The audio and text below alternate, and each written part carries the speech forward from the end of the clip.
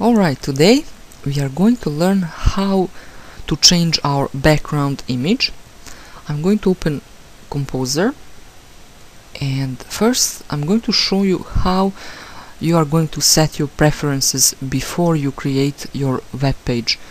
We are going to select here Tools and select Options and we are going to select New Page Settings by default it is selected reader's default colors but we need to select use custom colors if we want to set preferences to be default when we create our pages.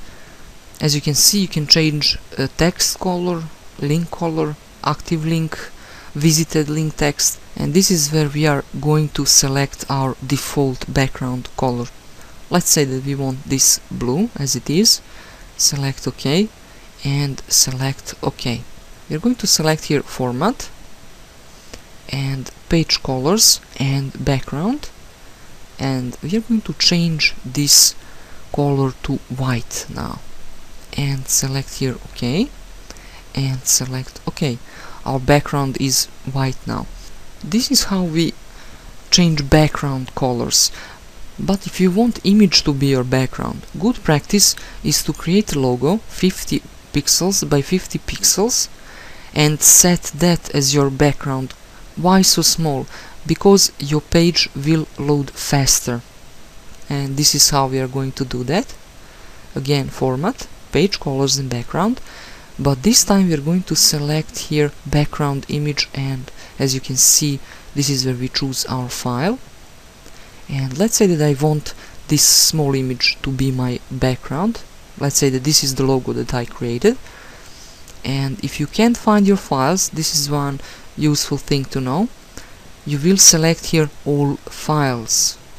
And let's say that I want this image select open and select OK. This is how it looks now.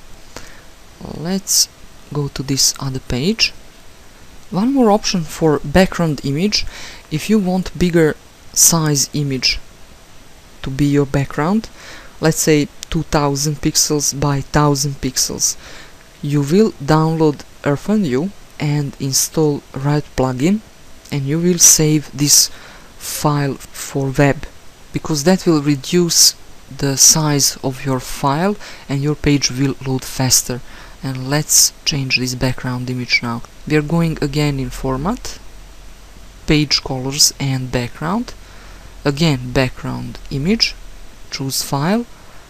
And this time we are going to choose this image and select open and select OK.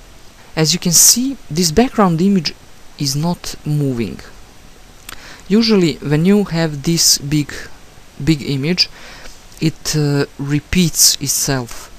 And to avoid that and to have fixed background image this is the code that you will paste into into your web page. We are going to switch here to source and you will find closing head tag and beginning of the body tag. This is the code that you are going to insert write it down somewhere on your notepad and save it in your project folder. This is the code and this is where you're going to paste this code. You will see here style equal open speech marks and this is the code that is inserted. Make sure you get all the code. Don't forget anything otherwise it won't work. Let's see now how this looks if we open it in in browser. And this is how you can open your pages that you just created. Of course don't forget to save it. And let's see index right click open with Google Chrome.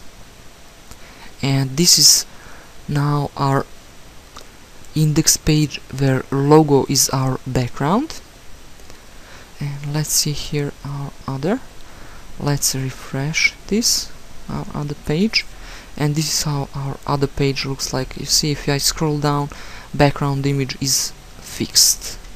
I hope you enjoyed this video and uh, of course don't forget to have a great day. Bye.